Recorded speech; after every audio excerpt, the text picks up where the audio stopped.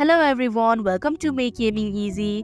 Today in this video, I'm going to show you how to change language on Ludo King. So without any further ado, let's get started. First of all, click on the settings icon in the top section of your screen. Here you can see the language option in the fourth row.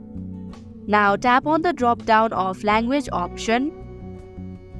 And here you can see a list of languages to choose from. Select one according to your preference. And that is how you can change language on Ludo King. Thank you for watching Make Gaming Easy. I hope this video was helpful to you. If it was, hit the like button and comment down if you have any questions or feedback. Also, if you are new to our channel, subscribe and hit the bell icon so that you don't miss our upcoming videos.